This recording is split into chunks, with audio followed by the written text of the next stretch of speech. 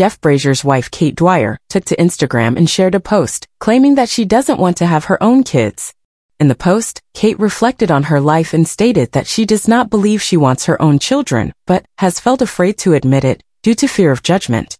She wrote, Hi everybody, I'm Kate. I'm 34 years old. The thought of turning 35 terrifies me and I do not know why.